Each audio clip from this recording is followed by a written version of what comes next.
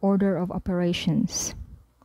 So in this topic, we will be able to evaluate expressions using order of operations, including the use of absolute value. So when simplifying expressions, it is important that we simplify them in the correct order. So let's try to consider this example here. So the following problem can be solved in two different ways. First, okay, 2 plus 5 times 3. Um, without using the order of, without following the order of operations, we would be tempted to add first, then multiply, and then we get this answer, 21, which is not correct. Whereas if we multiply first, then we add next, then we get the correct answer, which is 17. So this illustration uh, example, uh, this example illustrates that if the same problem is done two different ways, we will arrive at two different solutions. However, there is only one method that can be correct.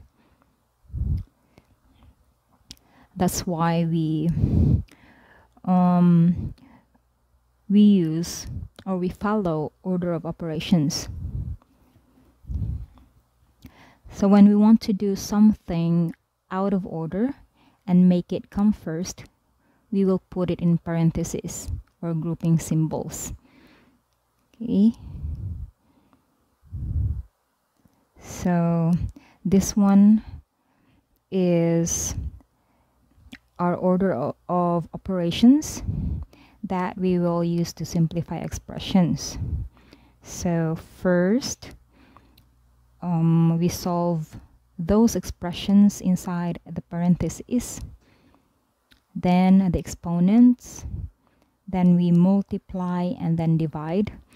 Uh, we multiply and divide from left to right um, multiply and divide here are on the same level because they are the same operation.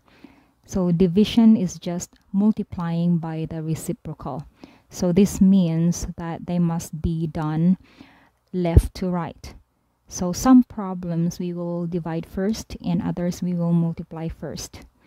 The same is true for adding and subtracting.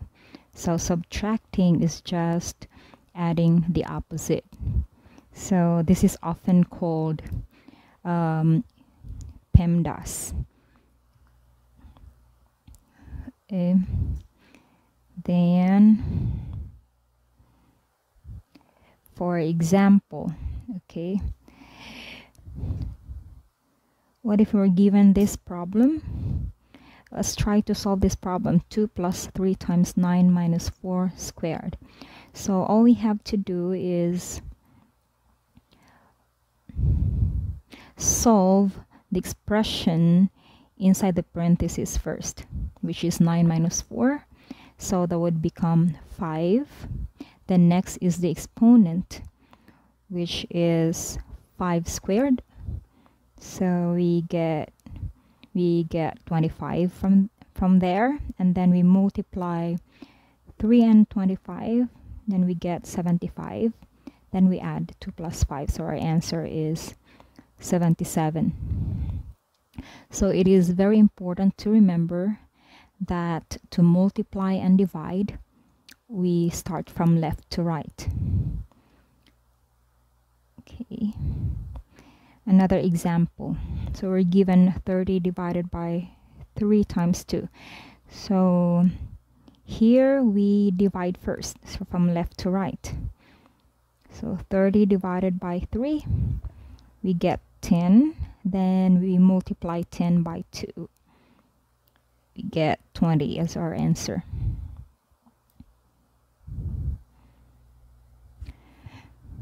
So, there are several parentheses in the prob uh, if there are several parentheses in a problem we will start with the innermost uh, parenthesis and work our way out. So inside each parenthesis we simplify using the order of operations as well.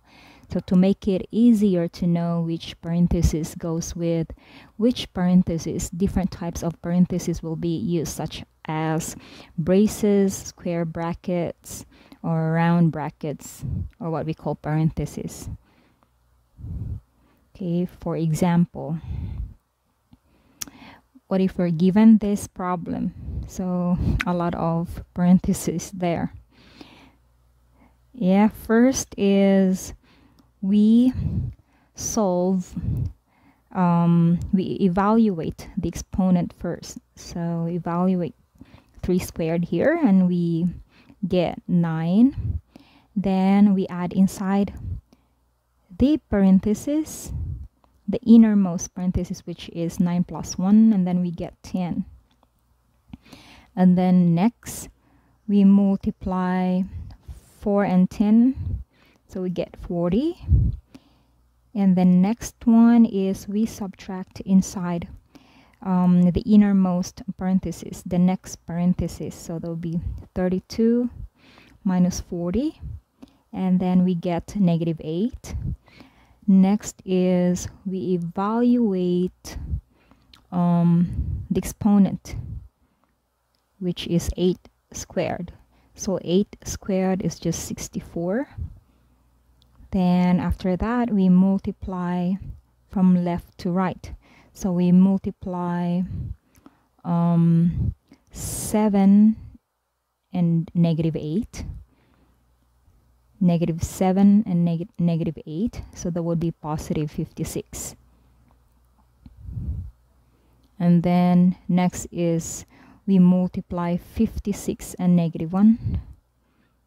Get okay, so we get 56 here then we subtract the remaining expression inside um, the parenthesis or your brace braces.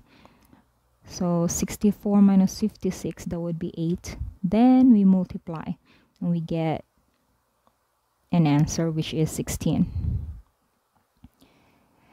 so um, it can take several steps to complete a problem the key to successfully solve order of operation problems is to take the time to show your work and do one step at a time.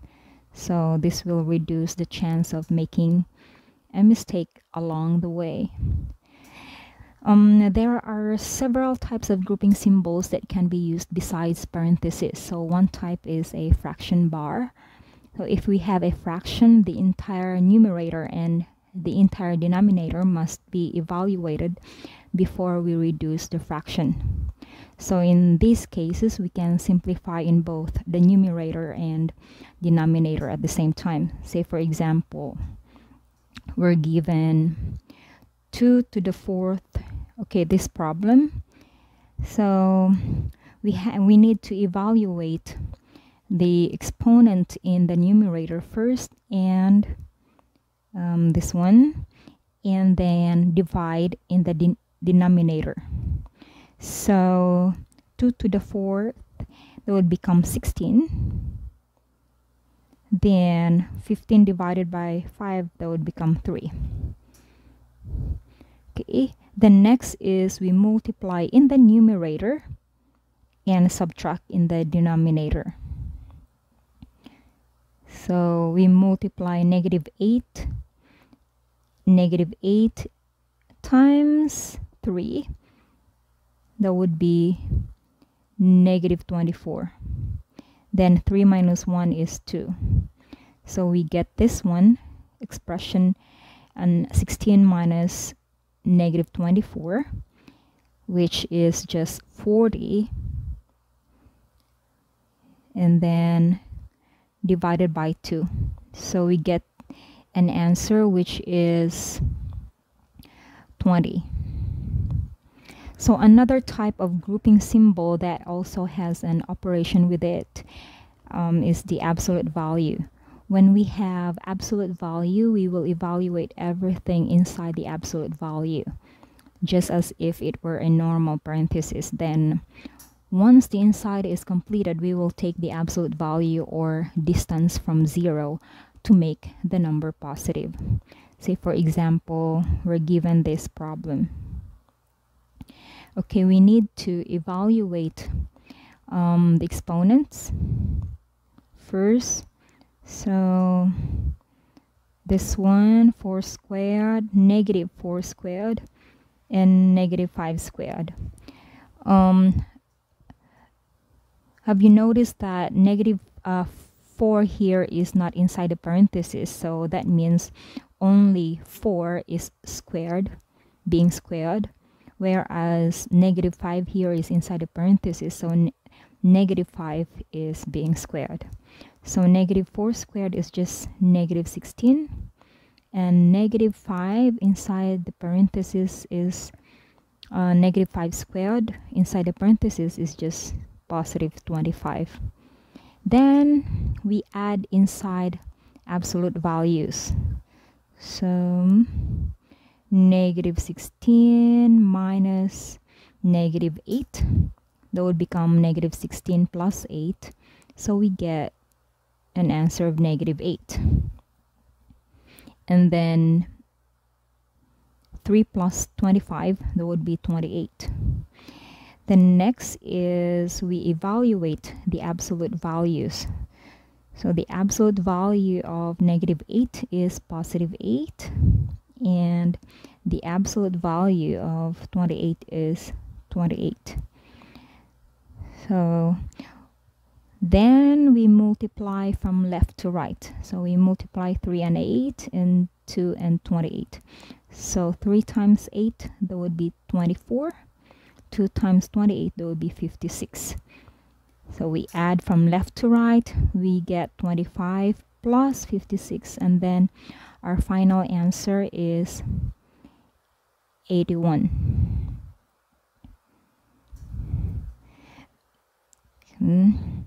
so that's it for today. I hope um, you understood everything in this video. I wrote here some practice problems for you to work on.